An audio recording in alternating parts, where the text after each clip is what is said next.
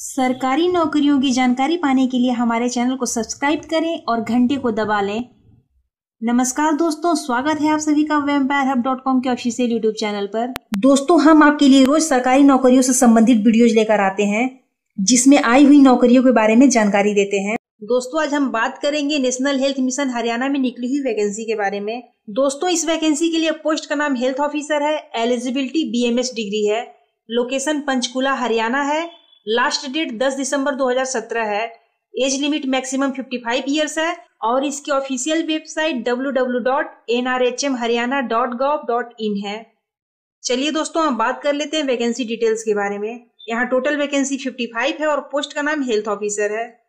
दोस्तों district wise vacancy की बात करें तो मेवात के लिए 20 पोस्ट है, पलवल के लिए 15 पोस्ट है, पानीपत के लिए 10 पोस्ट है और यमुनानगर के लिए 10 पोस्ट है। अब बात कर लेते हैं एलिजिबिलिटी के बारे में। इसके लिए शैक्षिक योग्यता किसी मान्यता प्राप्त इंस्टीट्यूट या यूनिवर्सिटी से रेगुलर बी एम की डिग्री रखी गई है। दोस्तों, यहाँ वेतनमान के रूप में चुने हुए आवेदकों को पच्चीस हज़ार रुपए प्रति महीने दिया जाएगा। अब बात कर लेते हैं एज लिमिट के बारे में। मेडिकल ऑफिसर के पोस्ट के लिए मैक्सिमम एज लिमिट 42 इयर्स और अकाउंट असिस्टेंट के लिए 55 इयर्स निर्धारित किया गया है। दोस्तों, इस वैकेंसी के लिए सिलेक्शन प्रोसेस इंटरव्यू पे बेस्ड है। चलिए दोस्तों, अब बात कर लेते हैं आवेदन प्रक्रिया के बारे में। दोस्तों, यदि आप इस पोस्ट पर आवेदन करने के इच्छुक हैं तो आपको हमारे वेबसाइट पे जाना होगा। हमारे वेबसाइट का लिंक आपको वीडियो के डिस्क्रिप्शन में मिल जाएगा। दोस्तों, आप अपने आवेदन पत्र के साथ रिलेवेंट डॉक्यूमेंट्स की सेल पर टेस्टेड फ़ोटो कॉपी को 10 दिसंबर 2017 से पहले स्क्रीन पे शो कर रहे पते पर भेज सकते हैं।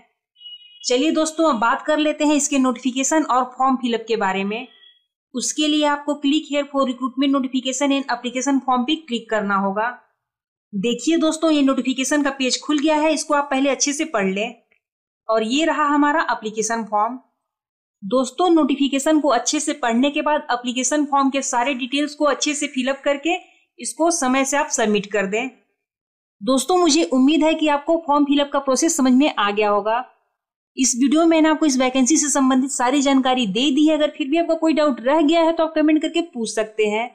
अगर आपको ये वीडियो अच्छा लगा हो तो लाइक करें कमेंट करें, अपने दोस्तों के साथ ज़्यादा से ज़्यादा शेयर करें और हमारे चैनल को सब्सक्राइब ज़रूर करें। धन्यवाद।